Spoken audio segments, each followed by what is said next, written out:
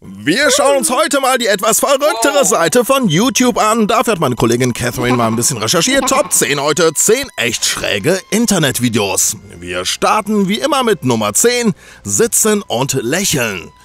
Benjamin Bennett, könnt ihr mal nachschauen, ist ein YouTuber mit 149.528 Abonnenten und 281 Videos auf seinem Channel.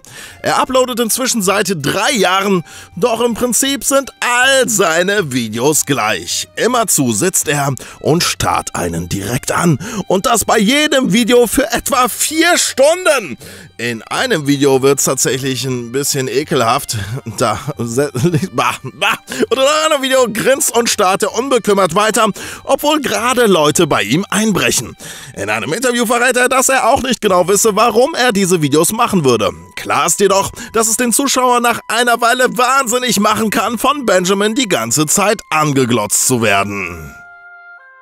Nummer 9. Suppe im weißen Raum. Blankroomsoup.avi tauchte zum ersten Mal 2014 auf. Das Video zeigt einen unbekannten Mann, wie er weint und gleichzeitig mit einem großen Löffel Suppe isst. Dabei leisten ihm zwei kostümierte Figurengesellschaft, die ihn offensichtlich probieren zu trösten. Es stellt sich heraus, dass die Kostüme zu einem Performer gehören, der sich Raymond Percy nennt. Er nutzt sie in seinen Ray Ray Sketchen. Doch Percy erklärte gegenüber YouTuber Rainbot, dass seine Kostüme geklaut worden seien. Daraufhin Daraufhin hätte er das Video gar per E-Mail zugeschickt bekommen, ohne jegliche weiteren Informationen. Wer dahinter steckt, konnte man bisher nicht herausfinden, auch weiß man nicht, was genau sich in der Suppenschüssel befindet. Manche vermuten sogar, dass es sich dabei um menschliche Überreste handeln könnte und das Video seinen Ursprung aus dem Dark Web hat, doch das bleibt unklar. Ja, nicht, dass es am Ende Percy selber war. Wir sehen, das Gesicht ist zensiert. Das ist mir viel zu traurig. Wir machen weiter mit 8. Der Max Headroom Vorfall. Der Max Headroom-Vorfall trug sich im Jahre 1987 zu. Dabei wurde der Chicagoer TV-Sender WGN gleich zweimal gehackt, einmal während eines Footballspiels und einmal noch während der Ausstrahlung einer Doctor Who-Episode. Das Video, das dabei ausgestrahlt wurde, ist wirklich bizarr und unverständlich. Die Zuschauer sahen damals einen Mann, der eine Maske des britischen TV-Charakters Max Headroom trug. Er schrie merkwürdige Dinge wie übersetzt, schnapp dir die Welle oder mein Bruder trägt den anderen Handschuh. Dann konnte man sehen, wie der gleiche Mann von einer Frau geschlagen wurde, die ein Dienstmädchen-Outfit trug. 30 Jahre sind seit dem Vorfall vergangen und noch immer weiß niemand, wer dafür verantwortlich war. Um so etwas in den 80ern durchzuziehen, brauchte man extrem teures Equipment und ordentliche Sendeleistung und dann stellt sich die Frage, warum? War es harmloses Trolling oder steckt etwas viel Unheimlicheres dahinter?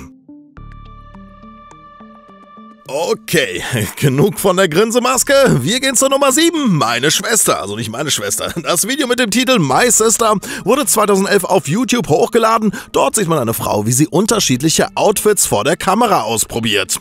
Das Video fühlt sich direkt sehr merkwürdig an, da die Frau direkt in die Kamera starrt und dabei so komisch grinst, ohne mit der Wimper zu zucken. Doch erreicht man die erste Minute, wird es unheimlich. Die Frau nähert sich wieder der Kamera und entfernt eine Maske, die sie anscheinend zuvor anhat hatte. Jetzt sieht man ihr wahres Gesicht. Anschließend sieht man die Frau, wie sie unterschiedliche Sachen isst. Auch hier schaut sie wieder in die Kamera und zieht an ihrer Gesichtshaut. Anscheinend trägt sie noch eine weitere Maske drunter. Doch bevor wir das erfahren, endet das Video abrupt. Der Channel, auf dem das Video hochgeladen wurde, ist eigentlich ein Gaming-Channel. So fällt die Sache hier ziemlich aus dem Rahmen und bisher gibt es auch hier keine Erklärung für dieses unheimliche Video. Nummer 6. Hexe gesichtet. 2014 wurde auf YouTube ein merkwürdiges Video veröffentlicht, in dem eine bucklige Person zu sehen ist, die einem Auto hinterherjagt. Das Video haben bereits Millionen Menschen gesehen, doch das ursprünglich hochgeladene Originalvideo wurde bereits entfernt. Die Person scheint eine alte Frau mit Krückstock zu sein, doch sie bewegt sich überraschend schnell und macht Geräusche, die sich wirklich nicht menschlich anhören. So glauben viele Zuschauer, das Video sei der Beweis für etwas Übernatürliches. Hier könnte wirklich Hexerei im Spiel gewesen sein. Andere vermuten wiederum, das Video ist ein Fake. Doch die Angst der Verfolgten wirkt auf jeden Fall unglaublich real. So bleibt es fraglich. Auf jeden Fall sprechen die von der Hexe Verfolgten Arabisch und Saudi-Arabien wäre ein Land, in dem Hexerei immer noch unter Todesstrafe steht. Also wenn das Ganze ein Scherz sein sollte, so wäre dieser für die Beteiligten, sollten sie aus Saudi-Arabien sein, ein ganz schön gefährlicher. Wo auch immer das Video herkommt und was auch immer es darstellt, es ist auf jeden Fall ganz schön creepy. Nummer 5 Grabraub für Dummies. Das Video Grave Robin for Morons tauchte 2014 auf YouTube auf. Hier sieht man zwei Typen, die bis ins Detail erklären, wie man ein Grab raubt. You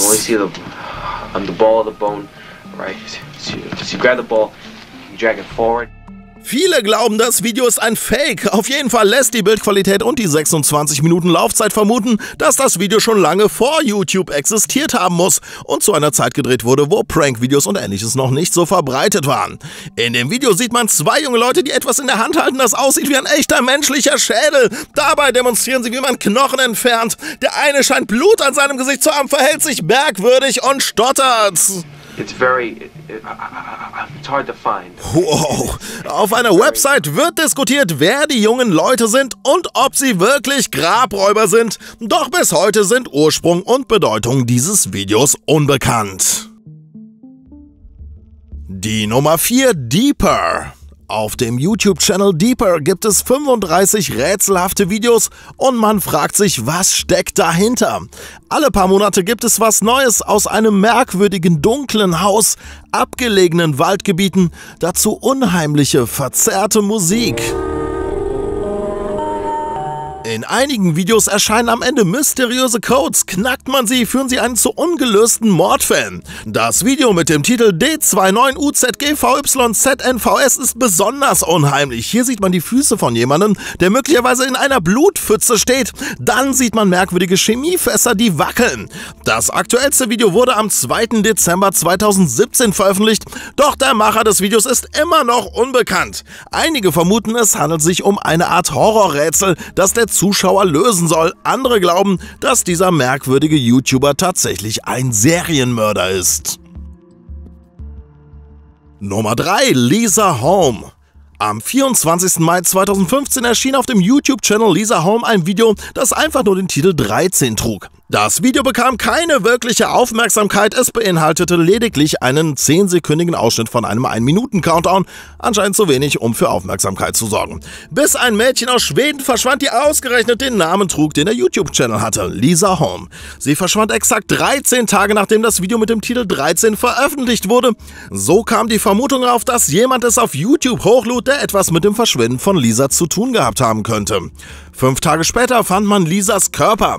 DNA-Analysen führten zu einer Verhaftung und einen Prozess. Das Video wurde in der Gerichtsverhandlung jedoch nicht behandelt und so bleibt es unklar, wer es auf YouTube postete. Nummer 2 Eliza Lamb 2013. Hotelgäste des Hotels Cecil in Los Angeles beschwerten sich über Geschmack und Farbe des Leitungswassers. Dann stellt sich Unglaubliches heraus. In einem der Wassertanks des Hotels befand sich eine tote Frau. Die Polizei ging zunächst von Fremdeinwirkung aus. Auf jeden Fall ergab die Autopsie, dass sie ertrank. Man wertete auch das Material der Überwachungskameras aus. Die letzten Bilder von Eliza zeigten sie im Hotelaufzug. Es scheint so, als würde sie verstehen Verstecken spielen, dann wirkt sie auf einmal wirklich verängstigt, aber niemals sieht man eine zweite Person. Das Video wurde bereits millionenfach angesehen und es gibt endlos viele Theorien, wie Eliza Lamb letztendlich in den Wassertank gelandet sein könnte. Viele vermuten, man sieht in dem Video, wie sie versucht, sich vor jemandem zu verstecken, der sie verfolgt. Andere sind eher der Meinung, dass sie unter Halluzinationen litt, die sie in den Selbstmord trieben. Oder wurden wir etwa Zeuge von etwas Übernatürlichem? Die Wahrheit bleibt bisher verborgen. Und die Nummer 1, Mr. 112 Dirtbag. Am 9. Februar 2004 wurde die 21-jährige College-Studentin Maura Murray als vermisst gemeldet. Zunächst entschuldigte sie sich, sie habe einen Notfall in der Familie gehabt, doch das stellte sich später als Lüge heraus. Man fand ihr verunglücktes Auto am Highway 112 in New Hampshire. In einem Interview sagt ihr Vater, dass wer auch immer ihr Maura genommen hätte, ein Dirtbag, also ein Drecksack sei. Als dann einige Jahre später der YouTube-Channel Mr. 112 Dirtbag erstellt wurde, nahm die Angelegenheit eine unheimliche Wende. Ein alter Mann schaute in einem der Videos auf dem Channel in die Kamera und lachte hysterisch, dann hörte er auf und zwinkert noch am Ende. Das Video wurde exakt acht Jahre nach Moras Verschwinden veröffentlicht und endet mit dem Schriftzug Alles Gute zum Jahrestag. So glauben viele, dass in dem Video der Killer von Mora zu sehen sei. Auf dem Channel wurden weitere Videos veröffentlicht, die weitere Hinweise zu dem Fall lieferten. Die Polizei identifizierte sogar den Mann in dem Video als Alden House Olsen, doch es war bisher nicht möglich, ihm irgendetwas bezüglich des Verschwindens von Mora nachzuweisen. Ja, das sind wahrhaftig unheimliche Fälle, oder? Schaut euch unbedingt noch die folgenden Videos an. Da gibt's einmal 10 ungelöste Rätsel des Internets mit Computerin und daneben die 10 gruseligsten Websites. Danke fürs Zuschauen und auf Wiedersehen!